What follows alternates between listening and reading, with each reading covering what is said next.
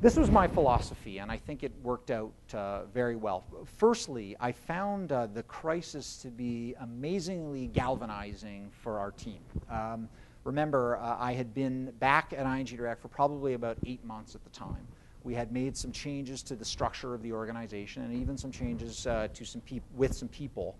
Um, and a crisis came, and it was a, a, an amazing time um, where either people galvanize together as a team and decide to work together and give everything they can, or they fracture apart, right? I mean, that's the risk of what can happen in the face of tremendous uncertainty. And uh, fortunately, our team uh, very much came together.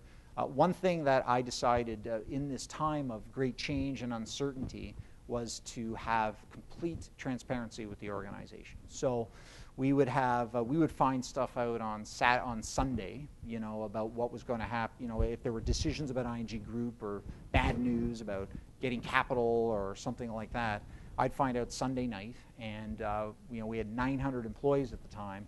Finding a way to tell 900 employees the truth about what I had learned on Sunday.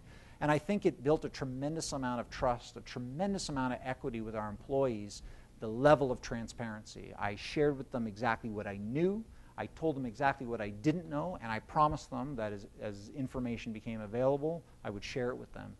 And um, we really went into high, high communication mode, which I don't think is the standard practice for, uh, for, for, for, business. So, uh, and I think that has uh, been very, very helpful to our business. I mean, we have a very, very high level of trust. And it's easier when you've got 50 people in your organization, and when you have 100 people in your organization, you have 200 people in your organization.